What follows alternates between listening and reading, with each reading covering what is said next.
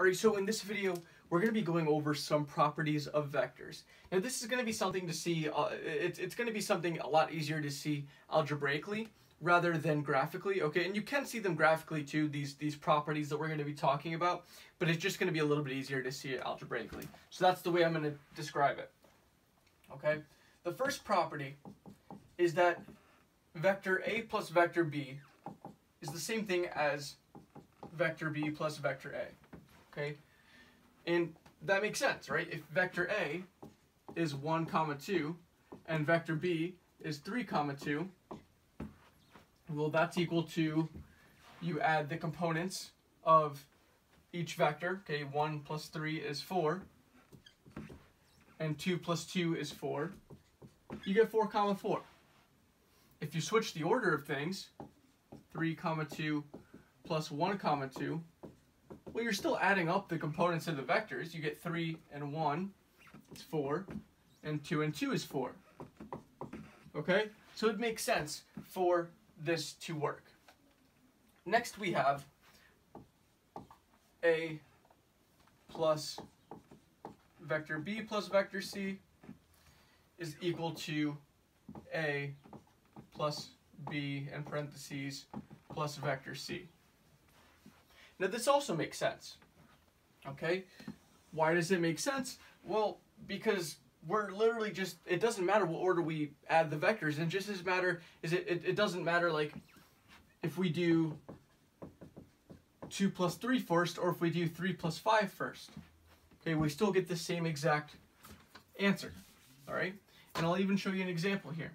Let's say that we have 1 comma 2 plus 3 comma 2 plus, let's say we have a 2 comma 1. Okay, well, let's say that we're going to do these first. Well, then if we do those first, what we get is 1 comma 2 plus 3 comma 2 is 4 comma 4. We just did that. And that plus 2 comma 1 is going to be 4 plus 2 is 6. And 4 plus 1 is 5. All right.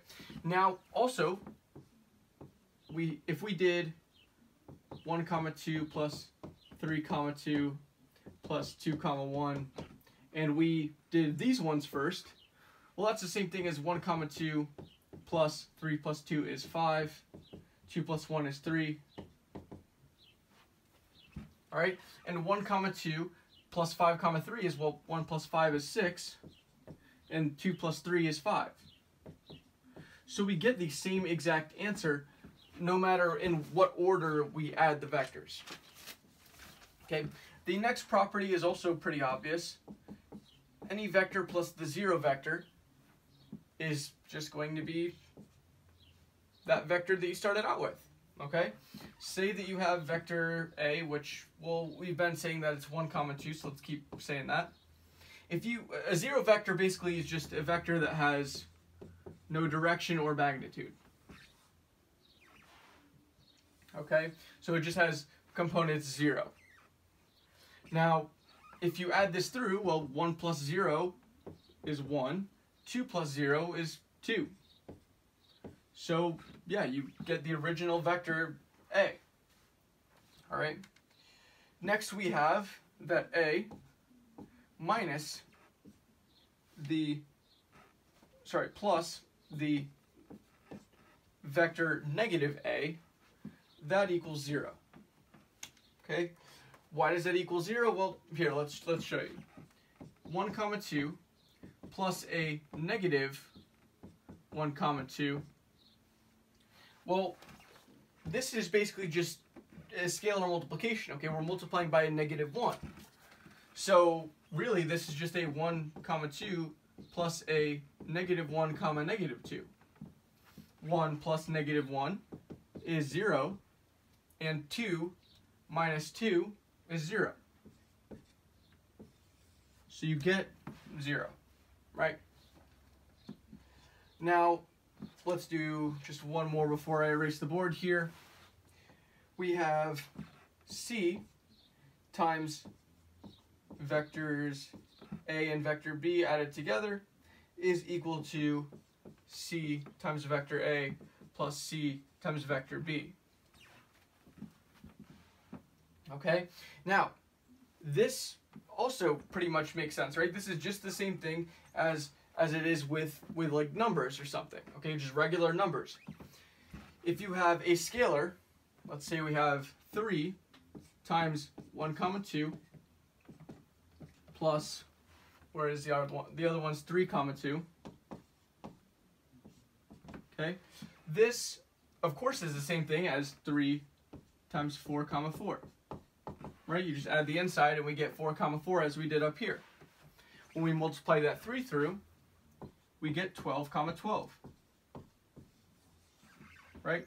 So, if we were to distribute that 3 first to each of these vectors separately, we should still get 12 comma 12. Let's see if that works. We have a 3 times 1 comma 2 plus we have a 3 times 3 comma 2. Well, that's the same thing as a 3. Sorry, not, that's, nope, nope. Is a 3 comma 6 plus a 9 comma 6. And of course that is equal to 12 comma 12 when you add those vectors together, right? 3 plus 9 is 12, 6 plus 6 is 12. Now our next property is that if you have two scalars being added together, and then you're going to multiply that by a, that's the same thing as just distributing this vector through rather than distributing the scalar through, which we did in the last problem, or in the last property. Okay, you can, you can distribute the vector through just the same. So if we have that c, let's say that c is equal to 3. Okay, c is equal to 3, d is equal to 2, and a, vector a is equal to 1 comma 2.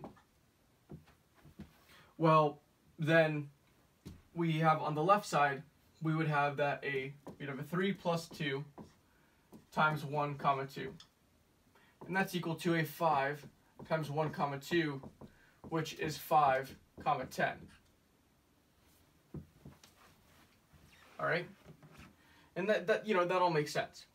But if we do on, on this side, we do it separately, where we have a 3 times a, which is 1 comma 2, plus d, which is 2, 1 comma 2.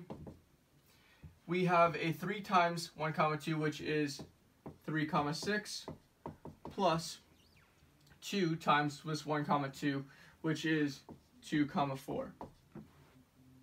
Okay, when we add these two together, we of course get 5 comma 10, which gives us back to what we had on the left side of the equation. Okay, so it shows you that you can multiply a vector through to two scalars. All right, next we have that we can also multiply two vectors or two scalars together and then multiply by a vector and have that equal one scalar times another scalar times that same vector. Okay, so it doesn't matter the order of which we do multiplication. Okay, here's an example. Again, let's say C is 3, D is 2, and A is 1 comma 2. Well, here on the left side, we would have a 3 times 2 times 1 comma 2. That's equal to a 6 times 1 comma 2. Okay, 3 times 2 is 6. And then we multiply that 6 through. We end up with a 6 comma 12 right? Just multiplying each component by 6. Now what about the right side? We have a c times d times a, but we're multiplying the d through to the a first. So we have a 3, and then we're going to have 2 times 1 comma 2 being multiplied first. Now this will equal a 3 times a 2 comma 4 and of course, you're going to have a 3 times 2 here, that's 6, and a 3 times 4, which is 12. So you get the same thing on the left as you do on the right.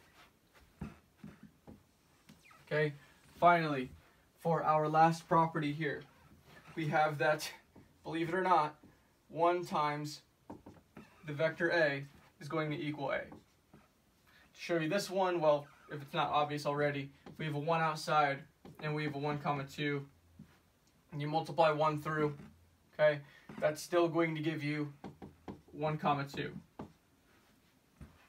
So this has basically been all of the properties that we learned in elementary school uh, with, with uh, you know, that we used for numbers, now applied to vectors. And you see that they basically all work, okay? So that is going to do it for this video. So if this video helped you, make sure to leave a like and subscribe by clicking my icon in the top left. You can also view the playlist for vectors and the geometry of space in the next video in the series. Lastly, if these videos are really helping you and you would like to consider supporting me, I have my Patreon linked in the description down below, along with some other pretty cool links that you should definitely check out. See you soon.